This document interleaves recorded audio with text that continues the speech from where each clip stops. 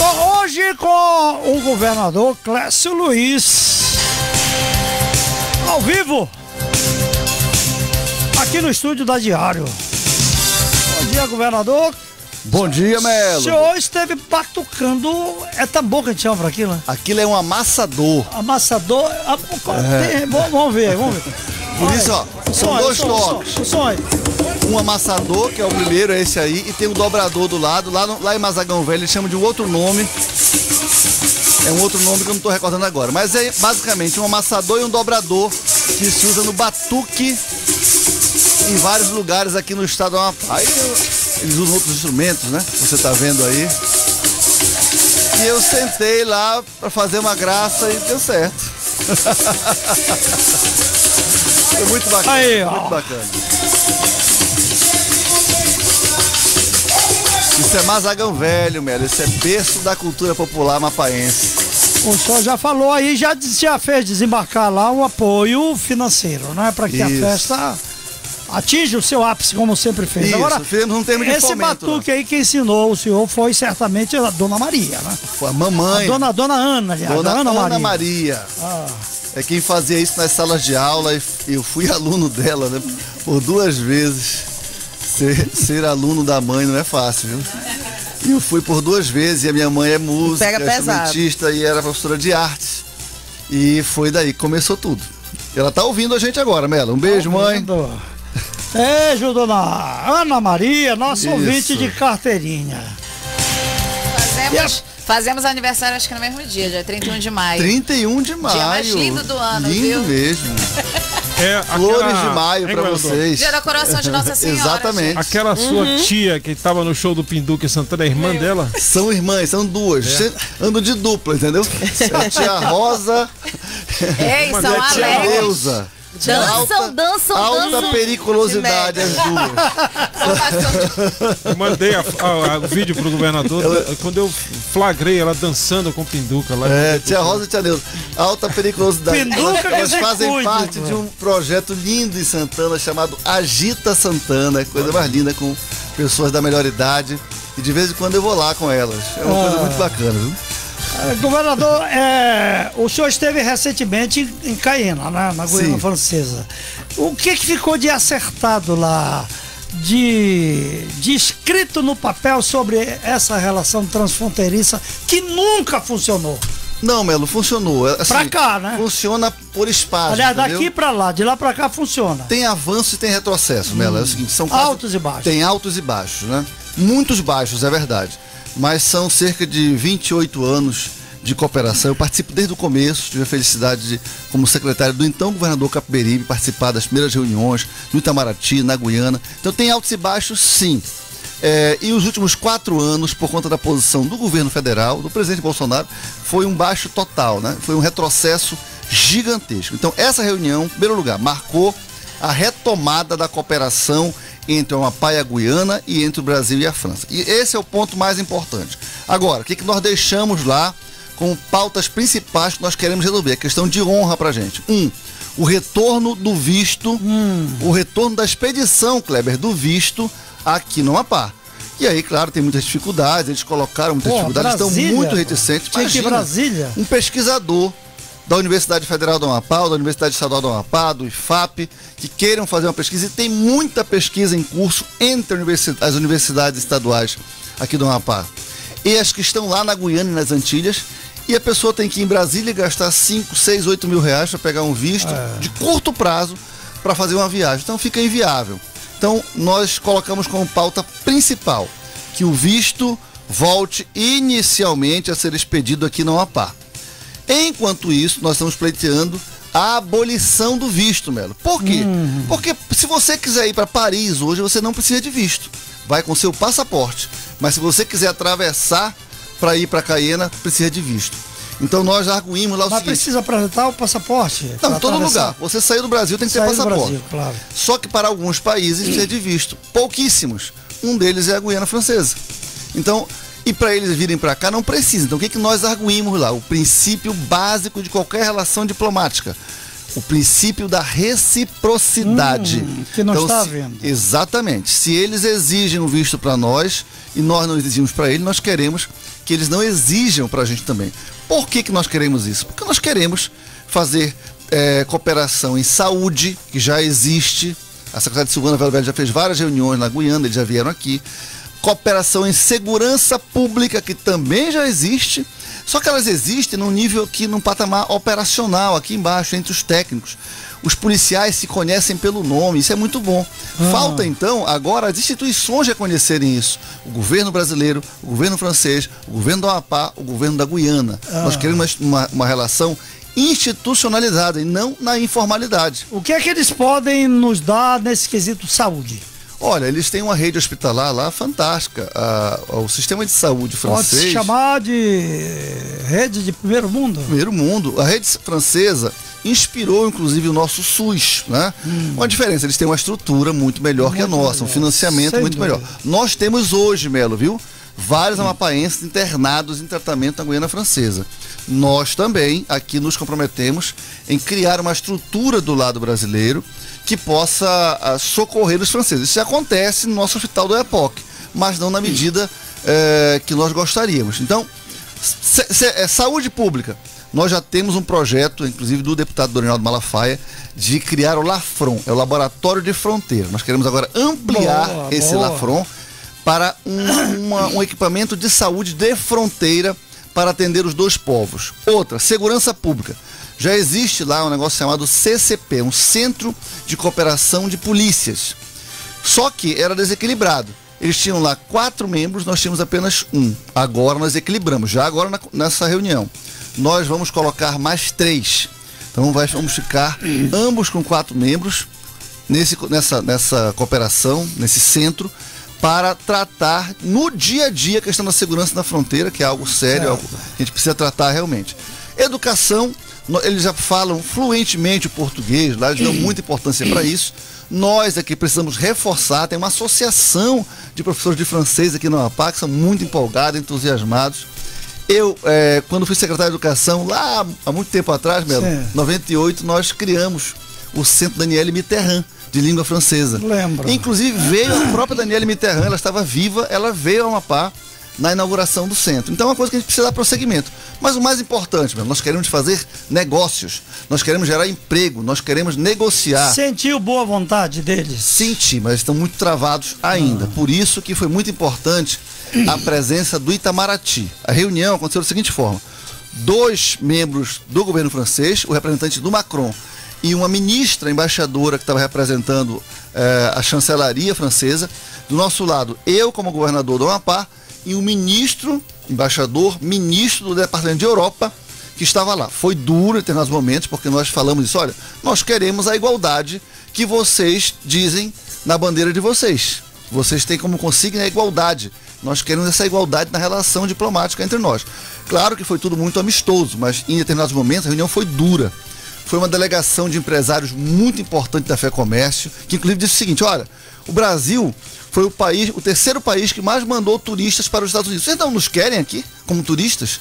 Então nós dizemos o seguinte, ó, queremos o visto no Amapá, depois queremos a abolição do visto, depois nós queremos eh, que o seguro cobrado aqui para atravessar para Guiana seja um seguro razoável dentro das nossas condições e que se acabe com o transbordo. Sabe o que é isso, Melo? Ah. Olha, um cidadão que produz abacaxi aqui no Amapá que vende para Guiana, ele leva o seu abacaxi até a ponte. E a ponte não cumpre o seu papel, que é de fazer esse caminhão atravessar legalmente falando e vender esse produto na Guiana Francesa e eles poderem fazer a mesma coisa aqui. Quando chega na ponte, esse cidadão amapaense, esse brasileiro, Tem que tem que descarregar tudo, tudo. e carregar num caminhão francês. Isso gera um prejuízo Absurdo, tremendo, perda de ma- absurdo. de mercadoria, etc. Então, essas foram as três pautas principais, junto com segurança, com saúde, etc. Mas tem muita água para rolar debaixo da ponte, porque é uma Claro. retomada, meu. Muita bronca ainda para resolver. Aliás, esse quesito de saúde tem sido o foco principal do governo do senhor nessa, nessa primeira arrancada, nesses primeiros seis meses de governo, né? Indiscutivelmente. O que é que já temos tido de resultado, governador? Bom, a retomada de obras da saúde, é, a nossa entrada no, no hospital de emergência, é muito importante. já é outro hospital, ainda temos problemas. Se eu chegar agora lá, não vou vir ninguém mais no corredor. Tem, tem sim, porque nós não temos hospital novo. Ah. Nós ampliamos bastante. Só para você ter uma ideia, nós criamos 249 leitos novos. É como se fosse um novo HE. O HE tem mais ou menos 250 leitos. Sim. Nós, é como se nós tivéssemos criado um novo hospital em seis meses. No entanto, é, não, resol, não resolveu ainda. A demanda estava reprimida há muitos anos, então, mas já é outro hospital. Se você, você pode tem lá, que fazer um outro mesmo para resolver tem, um problema. Por né? isso, terça-feira passada, uma semana atrás, eu me emocionei muito. Eu vi. Em dar a notícia de que a Caixa liberou ah, finalmente. Uma conversa com o Davi. Isso. Eu estava na Guiana Francesa ah. e a Caixa Econômica liberou o projeto definitivo do novo hospital de emergência mais 250 leitos, um hospital novo, cinco andares, de última geração realmente, né? O que é de mais moderno, vamos ter aqui no Amapá. Liberou o projeto com o dinheiro também? Projeto com o dinheiro. O dinheiro está liberado há muito tempo. O Davi conseguiu não só o dinheiro, 120 milhões de reais. O Davi conseguiu. É o suficiente? É o suficiente. Inclusive, nós licitamos com 10 milhões a menos. A licitação ficou em. Cento... Oh, perdão. O projeto ficou com 10 milhões a menos. Então a gente vai ter uma margem aí importante para que a obra não seja, não, não precise né, de recursos complementares. Outra, além do Davi conseguir o recurso, 120 milhões, ele conseguiu um imóvel que é uma área nobre na Padre Júlio, onde ficavam residências de oficiais do Exército. Eu, nós vamos resgatar a história, Melo, desde o governador Barcelos, que se pede essa mesma área. O governador Barcelos pediu essa área para o Ministério do Exército, da, da, da defesa. O governador Capiberibe pediu essa área. O governador Valdez pediu essa área. O governador Camilo pediu. O Valdez pediu novamente. E agora, com a interferência do Davi, eles liberaram a área. Então nós temos a área, o projeto e o recurso. Lançamos a licitação no mesmo Não dia. Uma área e tanto. Viu? É, lançamos no mesmo dia. E são 60 dias úteis para abrir as propostas. Então eu imagino que entre 90 a 120 dias a gente esteja começando essa obra. Ou seja, no final do ano, se Deus quiser, a gente está começando a construção do novo hospital de emergência, do novo pronto-socorro do Amapá, depois de 50 anos. Foi, foi o, senhor, uma... o senhor está fechando seis meses de governo, né? Já dá para comemorar feitos ou a máquina ainda está um tanto quanto emperrada? As duas Porque a máquina é grande pra caramba, é muito né? grande e é emperrada também. As duas coisas, a máquina está emperrada, é muito grande, precisa ser azeitada, mas também dá para comemorar. Eu aprendi, Melo, durante meus oito anos de prefeito, com muita dificuldade, depois você viu a prefeitura que eu entreguei, que a gente tem que fazer duas coisas cada vez que a gente tem uma pequena vitória ou uma grande vitória, não importa, que a gente supera um desafio. A gente tem que agradecer a Deus e comemorar. Então eu tenho feito isso. Tem muitas pequenas vitórias sim. A melhoria no atendimento da saúde é uma delas, mas está longe do que nós queremos. Eu faço questão de dizer isso aqui. Quando me perguntam sobre a saúde, eu digo: olha, já melhorou bastante, mas está longe, muito longe daquilo que eu quero, que a minha equipe quer e principalmente do que o povo merece. Mas já tem muitos avanços, tem muitas obras. Olha só, rapidamente. A HE está quase concluído, o antigo. Já vamos começar o novo.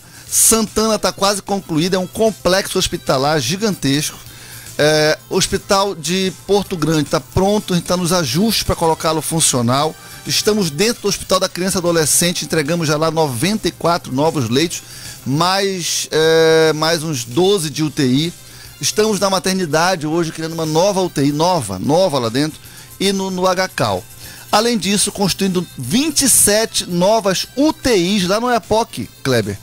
Porque a maior dificuldade no EPOC é a UTI. A gente está bem organizado lá, mas quando o paciente agrava, ele precisa de uma UTI. Nós temos uma UTI aérea, mas às vezes, que às vezes são utilizadas duas vezes por dia. Ocorre que às vezes tem a UTI e o paciente está precisando muito, mas não tem tempo, não tem teto para o avião pousar no EPOC. Isso acontece muito. Então nós estamos construindo 27 novos leitos UTI no EPOC. Tem um planejamento de intervenção em toda a rede estadual. Nós vamos revolucionar a saúde do nosso estado. Você pode confiar que isso vai acontecer. Tem dificuldades? Tem. Está longe do que nós queremos? Está, mas está avançando. Governador, já, ainda na área da saúde, a gente tem visto, já que o senhor falou dos, de outros governadores, em várias rodadas o Amapá já teve buscou negociar com o estado do Pará o fato de que a gente atende parte da, vamos lá, da clientela do, do, do, dos paraenses nas ilhas do entorno. A gente já conseguiu avançar nesse sentido?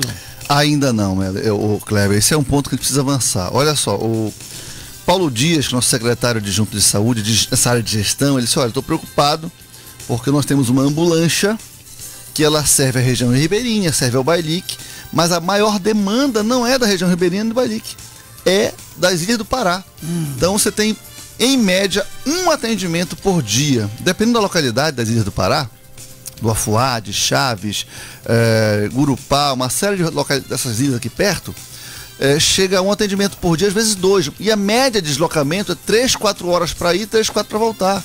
Então você ocupa uma ambulância com alto custo, ela gasta muito combustível, uma, tem uma equipe de plantão e nós precisamos, você tocou num ponto fundamental, precisamos ter um encontro de contas com o nosso vizinho Pará. Eu tenho conversado com o Helder Barbalho sobre vários temas, esse é um deles.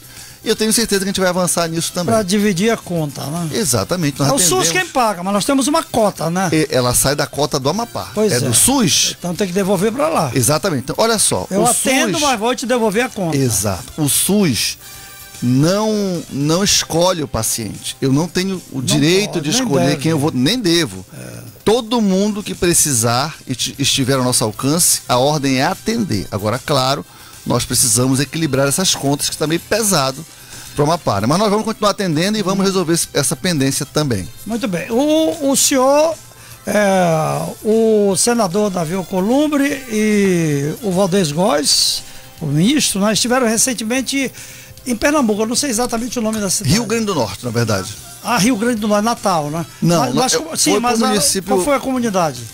Ah, vamos já pegar aqui rapidinho, até um erro. Eu também Fui tão, tão, bem recebido Bom, lá pelo prefeito, pela o, governadora. O, o, o, objetivo era saber como é que eles, eles procedem lá para conseguir fazer a dessalinização. Tirar o sal da água. Da água. É. Isso, a gente está com que um é fenômeno. Mais fácil, tirar o sal da água.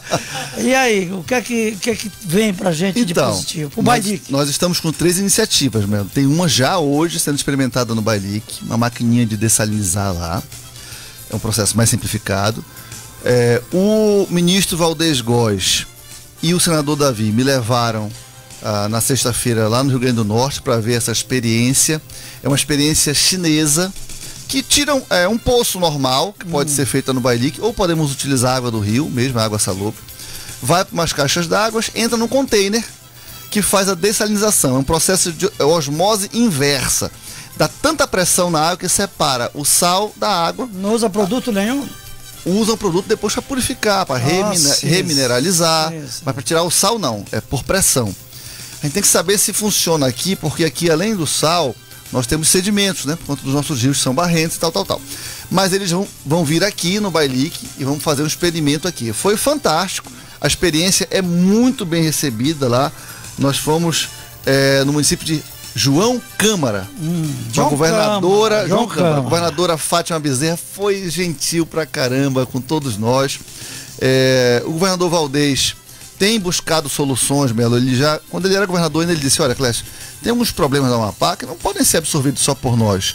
O governo federal tem que ajudar. Esse problema do Bailique, ou seja, pela importância que tem o Rio Amazonas, pela importância que tem a Ford do Rio Amazonas, o Bailique tem que ser abraçado pelo governo federal. E ele virou ministro e está fazendo exatamente aquilo que ele disse que ia fazer. Encontrando junto com a gente aqui soluções para o Bailique nas mais diversas áreas, tanto ele quanto o Davi.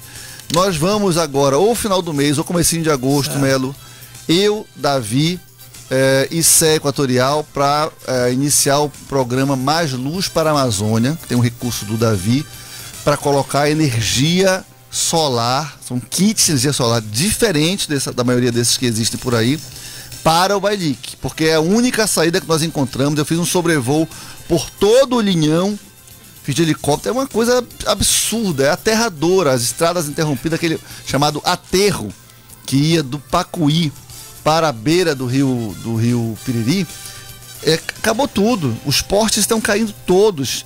A Sé Equatorial perde em média dois postes por dia, tem dia que cai quatro postes. Então, esse linhão, que lá atrás se mostrou viável, hoje não é mais. Então, a gente vai trabalhar com duas formas lá: a energia é, solar e vamos ter um reforço, vamos voltar lá, se Deus quiser, essa é a minha proposta, com a energia de uma, de uma geração isolada lá de, de motores a diesel. Hum. A Sé Equatorial já foi autorizada por mim a pedir essa autorização e colocar lá novamente geradores para a gente poder honrar aquela, aquela comunidade com energia elétrica. Como é que estamos no item segurança pública, governador? Estamos devidamente bem equipados para combater a, a bandidagem que não é Ainda pequena? não. Nós temos duas, ah. duas questões, Melo. É, na campanha eu dizia o seguinte, olha, nós precisamos manter o nível de investimentos que tem na, na, segurança. A segurança pública recebeu muitos investimentos nos últimos anos. Então, nós estamos mantendo esses investimentos. Tem muitas obras, recebemos muitos equipamentos. O ministro Fábio ficou de vir aqui eh, nos próximos dias para entregar com a gente eh, muito armamento, munição, drones de última geração para fazer serviços de inteligência, estão apostando muito nisso. Nós diminuímos os nossos índices eh, de assaltos, furtos, uma série de indicadores, mas não conseguimos diminuir mortes violentas. Por quê?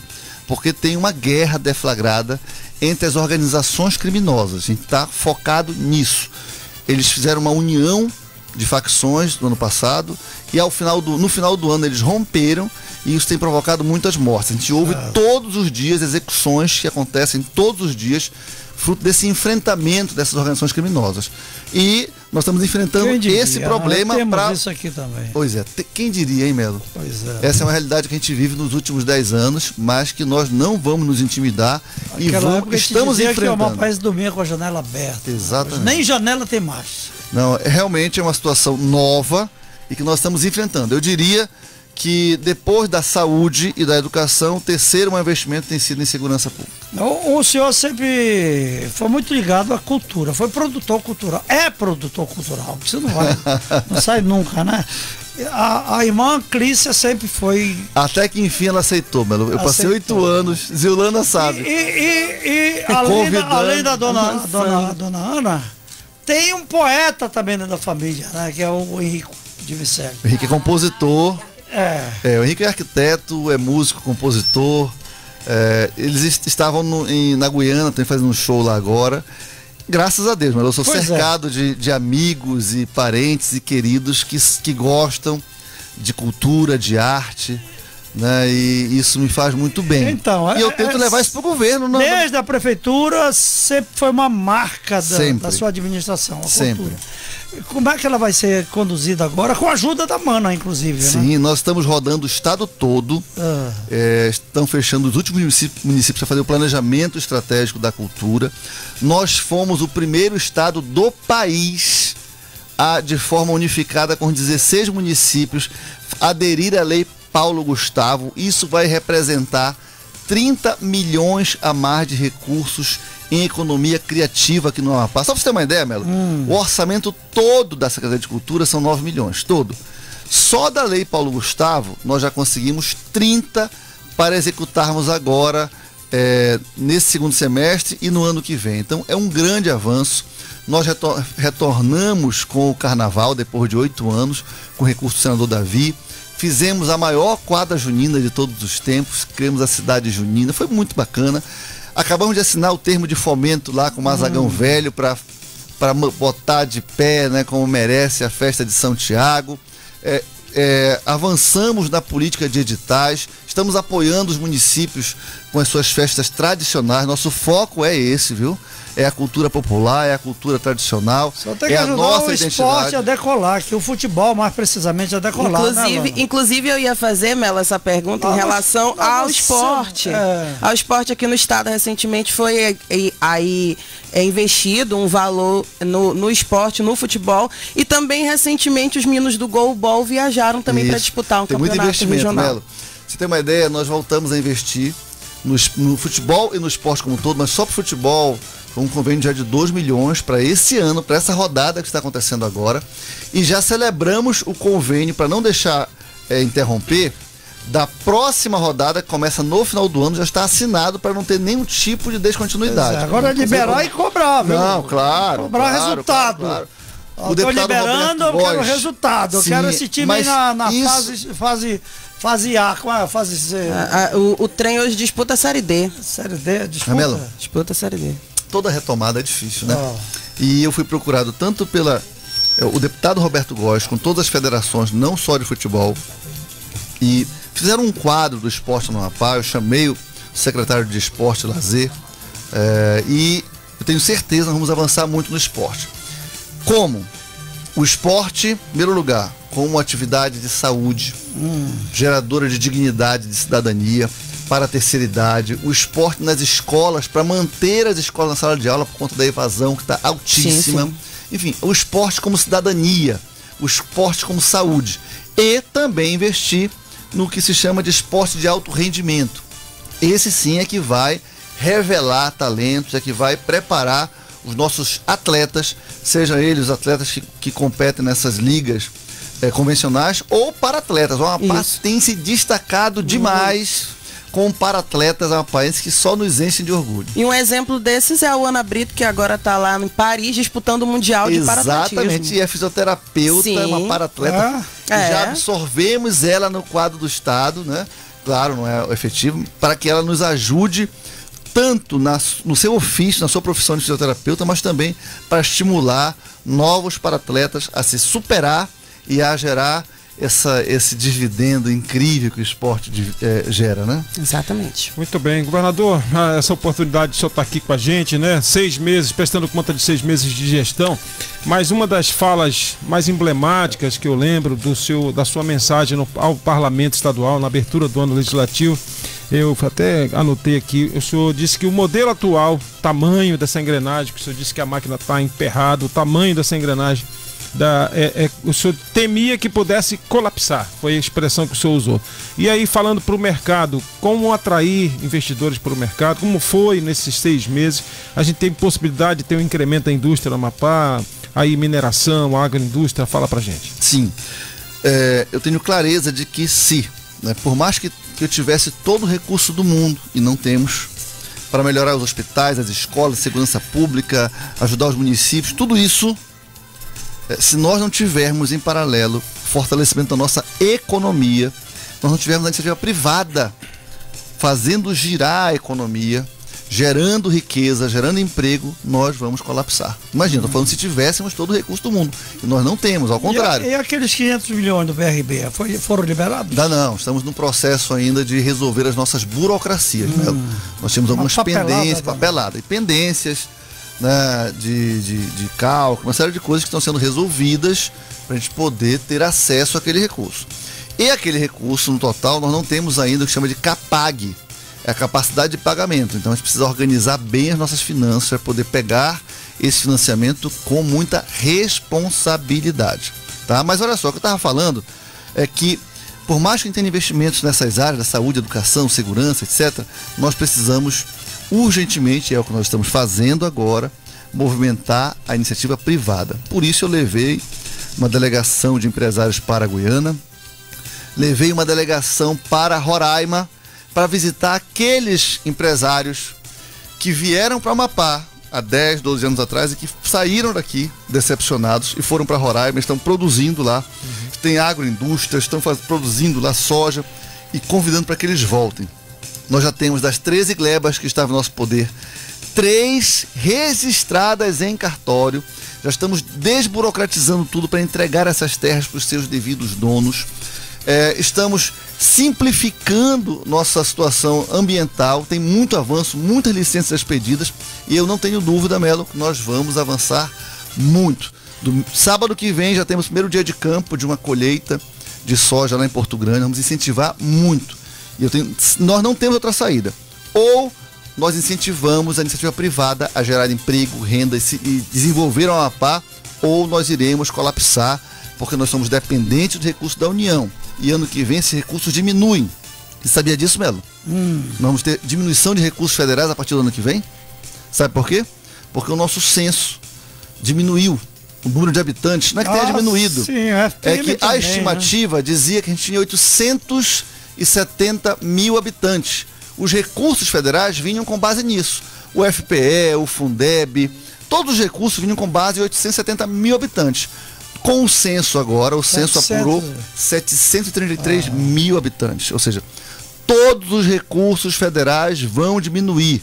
Então nós precisamos fazer frente a essa diminuição com captação de novos recursos, daí a importância da nossa bancada federal, coordenada pelo senador Davi Alcolumbre, a importância do senador Randolfo Rodrigues como líder do governo no Congresso, a importância do ministro Valdez Góes, que tem ajudado muito na articulação com os outros ministérios, a importância da bancada de, de deputados federais, enfim. É, todos são, o senador Lucas Barreto, todos serão muito importantes para captar novos recursos. Mesmo assim, isso é insuficiente, a gente ah. precisa é de economia é, pulsante no Amapá. É, rápido, direto ao ponto, no Diga. caso da, da, reforma tributária, o que os estados e municípios ganham ou perdem? Bom, no caso do Amapá, nós temos uma grande, uma gigantesca vitória, Melo, que foi manter no texto da reforma as a, a, área de livre comércio, área de livre comércio, Zona, Zona Franca, Franca Verde, Zona é Franca de Manaus, uma Constituição né? agora. Zona Franca de Manaus que tem benefícios aqui também. Isso é uma luta gigante minha e eu quero aqui parabenizar o meu vice-governador Tele Júnior. Hum. Estava lá no dia, mas não só no dia, organizou uma frente realmente importante para discutir a questão tributária. Nós sempre dissemos o seguinte: nós somos a favor da reforma tributária, que ela seja mais justa, que ela seja mais simples, que ela realmente é, tenha avanços, mas ela não pode achar que o Brasil é um só. Existem Brasis, diferenças regionais brutais. Certo. E nessas diferenças, nós temos também diferenças dos regimes tributários. A, a, área de livre comércio é um deles. A Zona Franca de Manaus é outro. A Zona Franca Verde, corredor de importação, que foram conquistas do empresariado e dos governos locais que não podiam de forma nenhuma ficar de fora. E iam ficar. Se não fosse a nossa luta intensa, iam ficar de fora. Ficaram dentro. Agora vamos ter que lutar por outra coisa. Tem um ponto que não ficou bom. A repartição dos recursos do FPE é, é, não ficaram tão, bom, tão bons como era na, na atual legislação. Então é uma luta que vai ser agora no Senado. E eu tenho certeza que o Senado, sendo a casa da federação, vai entender que essa conta precisa mudar e que o sul, sudeste já são bem aquinhoados. Não vem direto. Vai depender do, do, repasse. O governo federal. Como depende hoje, só pois que é. a conta nos prejudica. Ah. Então a reforma tributária em si foi boa para o Amapá, manteve as nossas conquistas. Área de livre comércio, Zona Franca Verde, uh, Zona Franca de Manaus, uh, corredor de importação, etc. Mas no quesito repartição de recursos pelos fundos constitucionais, nós seremos prejudicados se mantiver o texto original. Nós acreditamos, tenho certeza, que com o Davi, com o Randolph, com o Lucas no Senado, nós não vamos permitir isso. Vamos mudar essa conta, esse cálculo, porque ele é injusto. Esses fundos são exatamente para equilibrar as desigualdades regionais que existem no Brasil continental. Muito bem, governador, a gente não poderia encerrar esse bate-papo que se propõe fazer aqui um rápido balanço do que foi o primeiro semestre, sem falar da agenda do servidor, né? O servidor que o senhor, lá no primeiro dia de governo, chamou os sindicatos, seja da classe dos médicos, seja dos enfermeiros, para ir para a saúde, para o hospital, que era o senhor eleger como uma prioridade. Agora, recentemente, fez um evento da aposentadoria de 300 e poucos servidores, Isso. foi um aceno dizendo para o Estado, dizendo muito obrigado. E essas mudanças, esse trabalho todo, não pode prescindir dessa força de trabalho. O que Sem dizer para o servidor nenhuma. do Estado? Olha, eu sou servidor público, sou efetivo, eu fui policial civil, sou professor e sou governador. Então, eu tenho condições de realmente ter um modelo de diálogo com os servidores capaz de gerar benefícios para os servidores no geral, mas ao mesmo tempo ter uma linguagem muito honesta com eles. A situação financeira do Estado não é boa. Então o que, que nós fizemos? Meu primeiro ano de governo, eu, sem ter condições de dar reajuste, sentei junto ao Conselho eh, de Poderes, eh, que é o Conselho Fiscal, que nós temos de todos os poderes do Estado, e disse, olha, nós não temos condições de dar reajuste. Os poderes nenhum tiveram condições de dar. E eu disse, olha, nós também não temos condições de dar, mas eu também não tenho condições de não dar nenhum reajuste aos servidores públicos. Fizemos um sacrifício e demos 5,6. O IPCA foi 4,16, nós demos 5,6. Para os professores, nós ofertamos os 5,6 mais 3 mais 4,16 no decorrer do ano. E agora já invertemos 5,6 mais 4,16, ou seja, mais de 9% e mais 3% ao final do ano, a depender do comportamento do Fundeb. Já houve acordo? Ainda não houve acordo, mas nós estamos discutindo ainda. Bom, nós criamos uma agenda e um comitê, não é só gente, tem um comitê para tratar caso a caso cada categoria, cada segmento. Isso vai gerar muitos benefícios para os servidores. E em paralelo estamos discutindo aquelas categorias que precisam de, de, de tratamento diferenciado eh, em plano de cargos e salários. Chamamos, fizemos concurso, chamamos concurso para o EAP, que é muito importante. Eh, chamamos 141 eh, policiais penais, chamamos 114 policiais civis novos, entre delegados, agentes de polícia, oficiais. Vamos chamar até o final do ano mais policiais civis que vencem um concurso no final do ano. Eu fiz o compromisso de chamar esses policiais e estamos já tratando para chamar os professores do último concurso. Chamamos também, para não esquecer, 600 concursados da, do concurso da Polícia Militar para fazer o TAF já começar o curso e mais 300 bombeiros militares. Então a gente vai ter uma agenda muito intensa com os servidores, porque o Estado não vive sem os servidores públicos. E fizemos questão de fazer um evento da Previdência com aqueles que estavam se aposentando para homenageá-los e agradecer pelos anos de prestação de serviços ao povo do Amapá. Como foi a visita que o Estado, com a sua Secretaria de Saúde, fez a, aos UAMP juntamente com os doutores da Amazônia? Ah, foi emocionante. Ontem saiu a matéria no Fantástico, você viu? Viu, vi. Linda chegou a, tão linda, chegou a ser poética, porque ele fez uma abordagem. Né? Texto né? excelente. Uma abordagem de tudo que aconteceu. Oh, e não também não maquiou nada, mostrou as contradições. E foi uma ação linda. E o que nós queremos com essa ação? Essa ação foi organizada pela minha companheira, pela Priscila Flores, é, que organizou desde a ação do Doutores da Amazônia, da qual ela é voluntária. Aliás, ela anunciou numa entrevista aqui no programa Luiz Melo Entrevista. Exatamente. Ano, dizendo exatamente. que ia trazer os Doutores da Amazônia. E trouxe foram 40 voluntários que vieram de fora, que se somaram a mais cento e tantos aqui do, do nosso estado, entre dentistas, médicos, assistentes sociais, psicólogos, psiquiatras, é, profissionais das mais diversas áreas. Nós montamos um acampamento de 10 dias dentro da aldeia Aramirã, lá do povo Guayampi. E assim, o resultado você podia chamá-la aqui, porque ela está muito emocionada. Ontem hum. ela passou a matéria toda chorando, porque foi lindo demais, né? E o resultado e quando ela foi lá, sozinha, para fazer, para ouvir a comunidade indígena, porque é assim que tem que ser, tem um protocolo de consulta, ela foi lá. E respeitando o, toda, o, exatamente, toda a, cultura, é a cultura deles, né? O jeito isso, deles. que ela perguntou pro cacique o que que eles queriam. Ele disse assim: Nós não queremos mais que venham para cá arrancar nossos dentes. Eu quero que venham tratar dos nossos dentes. E foi isso que aconteceu. Nós não vamos lá arrancar dentes. Vamos fazer restauração, colocar aparelhos de. É, é, é, as próteses. Uhum. enfim, foi um trabalho maravilhoso. Foco na odontologia, ela é dentista, mas também na oftalmologia, ginecologia. ginecologia. Foi fantástico e isso foi o laboratório para que transforme isso numa política pública para levar para as demais terras indígenas, para as regiões ribeirinhas e quilombolas. É, é um projeto que nós estamos apaixonados por Parabéns. ele. Muito bem. Governador, muitíssimo obrigado por ter aceitado o convite para vir a este programa hoje. Eu que agradeço, Melo. Bom, completamos agora os seis primeiros meses de gestão.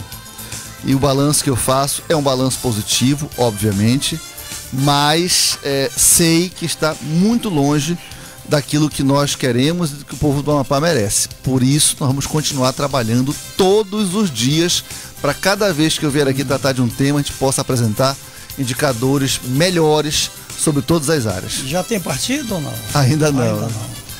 Tô, eu estou no Solidariedade, né? Mas estou discutindo. Uhum. O Solidariedade deu uma fundiu com outros partidos. Eu estou vendo ainda isso. Estou uhum. focado no governo do estado, focado na saúde, focado na segurança, focado em gerar emprego, enfim. Estou hum. muito entusiasmado com as possibilidades que governar me trazem é, e, e, do que eu posso deixar como legado. Mesmo, da mesma forma que deixamos a prefeitura, a cidade de Macapá, o slogan né, da prefeitura de Macapá hoje, Macapá está diferente, está mesmo, né? Hum. Isso é bom. Eu sempre dizia, olha, eu quero que o prefeito que, me, que venha depois de mim seja melhor do que eu. Eu quero que o governador que venha depois de mim seja melhor do que eu. E que eu tenha participação. Aliás, como é que o senhor tá, tá, tem tabelado com o atual prefeito? pouco, precisamos melhorar mais essa relação. Mas é que eu estou muito focado em problemas crônicos, sérios do governo não há Amapá. rusga, né? Não, de minha parte não. Ah. E, às vezes a militância cria factoides, cria problemas, mas a gente vai superando. né? Eu quero trabalhar Coisa acima disso. Exatamente. Ah, e com o legislativo? Também uma, uma relação muito boa, porém, claro, é, o legislativo é o poder fiscalizador, então tem uma independência, Certo. mas a gente tem tratado muito bem as questões do Amapá. Eu tenho mostrado que nós precisamos juntar as forças, construir consensos, senão o Amapá não vai avançar. Ok. Obrigado, governador Clécio Luiz. Eu que agradeço, Melo. Bom dia. Sucesso, bom trabalho. Obrigado, bom dia a todos e a todas. Tintim por tintim. Conte-me tudo.